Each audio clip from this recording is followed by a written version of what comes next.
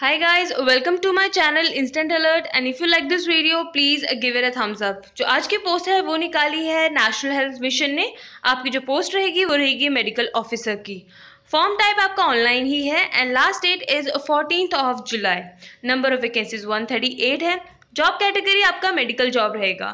जो आपको इसके लिए क्वालिफिकेशन चाहिए वो है एम इसके बाद गाइज़ जो इम्पोर्टेंट डेट्स हैं लास्ट डेट है अप्लाई करने की सेवनटीन ऑफ़ जून और नंबर ऑफ़ वैकेंसी जो आपको रिक्वायर्ड है वो है